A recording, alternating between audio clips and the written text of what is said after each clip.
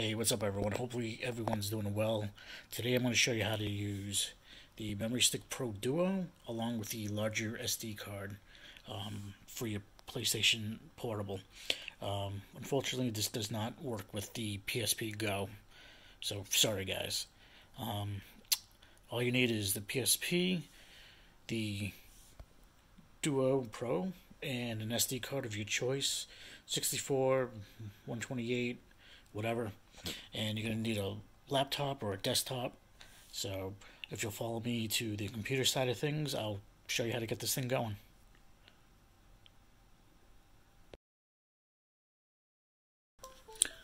Alright, I just installed the SD card to the computer. As you can tell by the corner of the right right hand side screen.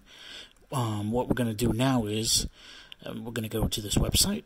This website is going to be in the description below.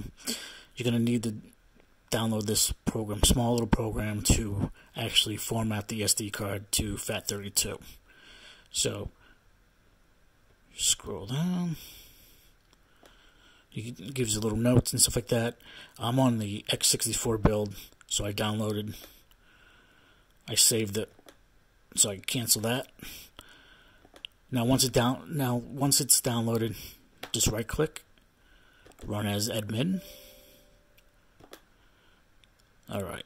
Now make sure you're on the right drive so you don't format something you don't want to be formatted.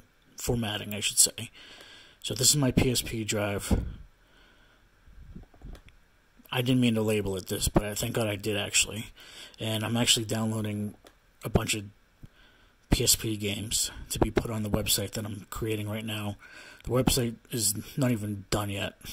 There's still a lot to be um, installed on the site and whatnot, but this is my external drive. So my external drive is E. So what we need is actually D drive.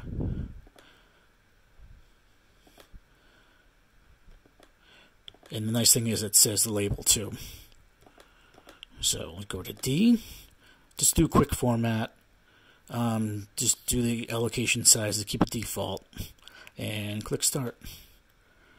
Sometimes it's a little buggy, sometimes it's not.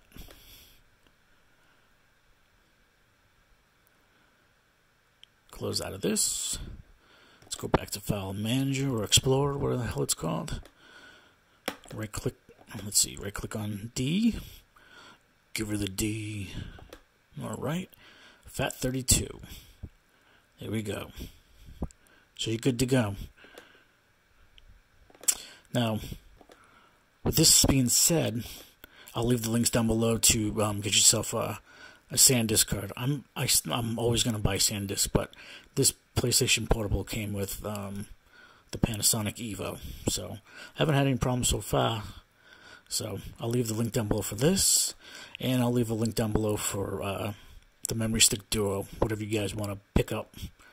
Um, or you could have two of the 64 um, S 64 gig SD cards. You know, totally up to you. So you have 128. That's a lot of memory.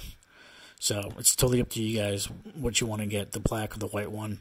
Um, I definitely would stick with the uh, 64, but that's just me because the more applications, games you put on, the longer it's going to take for the PlayStation Portable to read your SD card. So keep that in mind. I'll leave a little note down below about it. So, like if you like, dislike if you dislike, and I'll catch you guys around. Thank you.